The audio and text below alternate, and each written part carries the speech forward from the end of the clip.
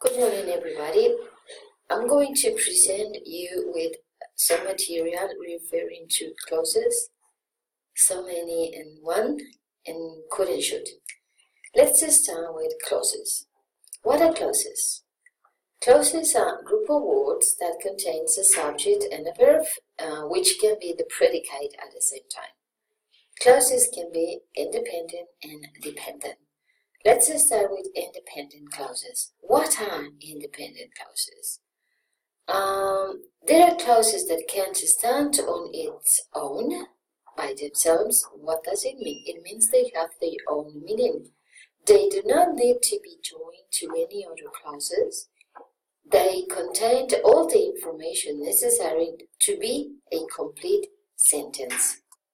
Independent clauses have three components subject, which is uh, the element that the sentence is about, actions and predicate, which is talking about what the subject is doing, and uh, they both together express a complete thought, something that happened or was said with a complete sense again. For example, today is Thursday, and it is on Friday. She interviewed for three jobs, that is an independent clause, but she really wants to work here. We all looked very tired, for we had stayed up all night cramming from the finals. Independent clauses can be as simple as a subject and a verb. For example, Jim reads. Jim is the subject, reads is the action. But Jim reads is a complete thought. Everybody understand if we said Jim reads. Independent clauses can be together because they are related.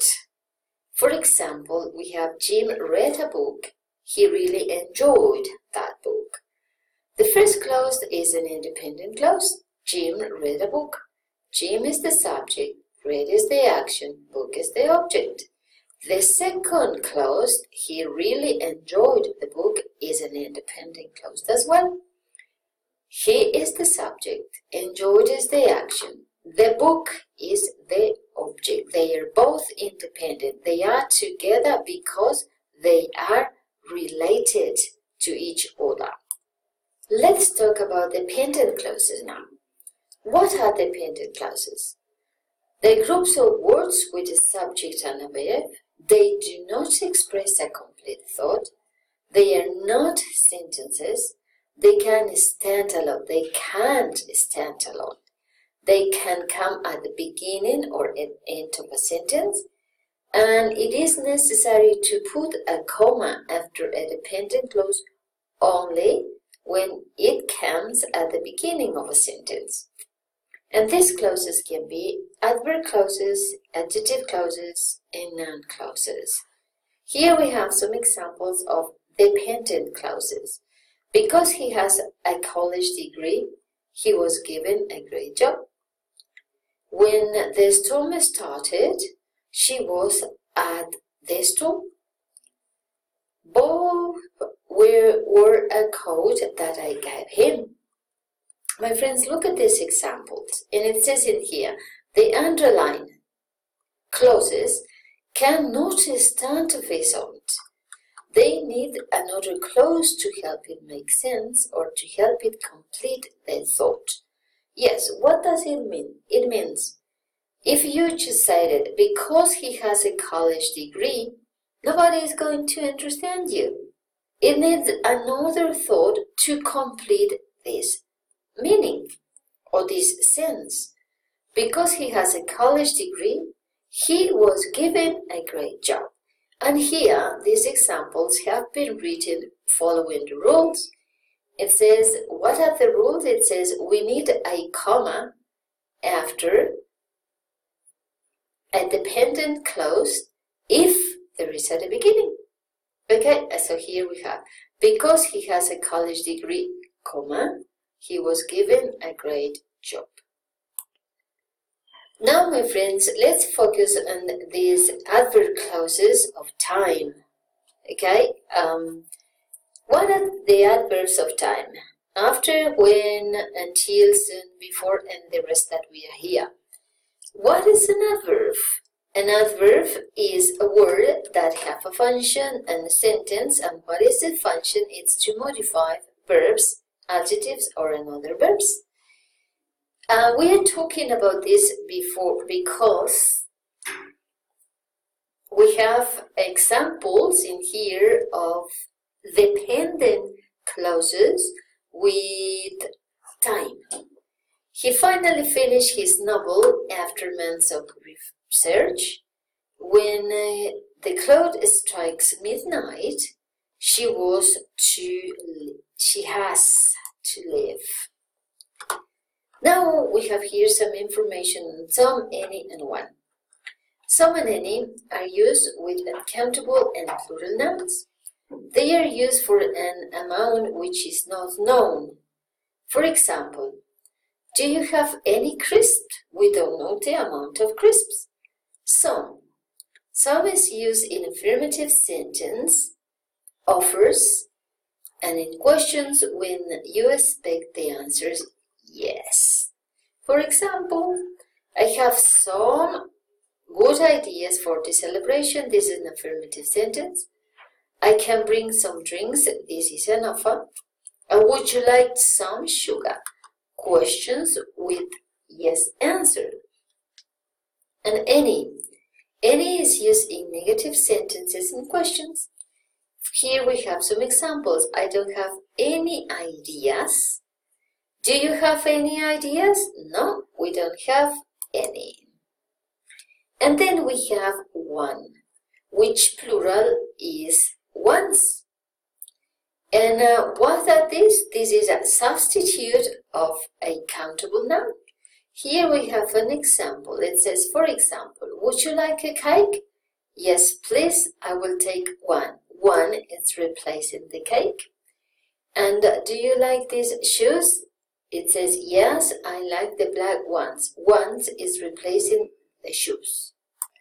So what we have in here are some examples or exercises and some any and the answers of these exercises. Now let's talk about the could and should. Let's start with could. Could is used to express an idea or an opinion without imposing one's judgment of what is right to do. Could, my friends, is a possibility or possibility. Could is used to make suggestions and requests.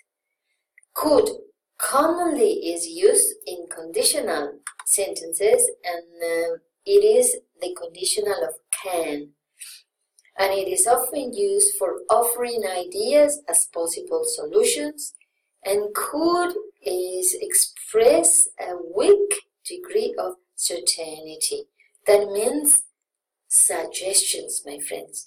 Here we have some examples with the occasions or situations when we use could. Extreme rain could cause the river flood. This is a possibility. Nancy could ski like a pro when uh, she was 11. This is a possibility. You could see a movie or go to the dinner. That is a suggestion. And could I use your computer to email my boss? This is a request. This requesters are asking for favors.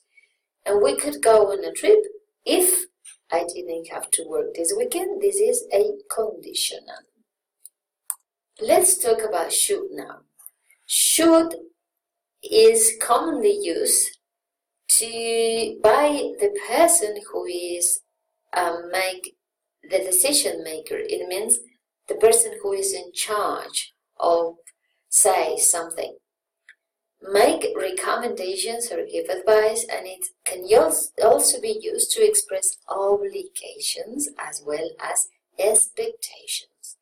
Examples when you go to Berlin, you should visit the Palace of Potsdam. This is a recommendation. You should focus more on your family and less on your work. This is an advice. I really should be in office by 7 a.m. This is an obligation. And by now they should already be in Dubai. This is an expectation. What I have written here is what is uh, what is the meaning of every situation in here. What is a suggestion? A suggestion is a helpful idea, plan, or possibility that someone mentions. What is an advice? An advice is an option you give someone about what they should do, something with higher priority.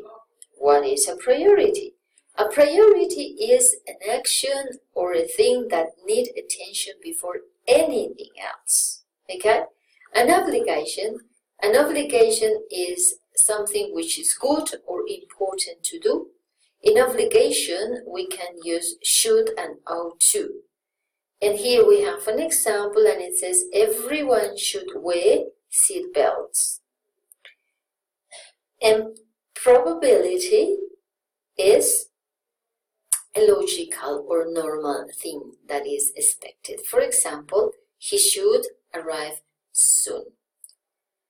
What is next, my friends, is um, exercises with should and could and the answers of them. My friends, I really hope that this information will, will be of any use for you. Remember, my friends, I always here to help you. Please don't hesitate and contact me if you need help on any topic. Thank you very much. Bye for now.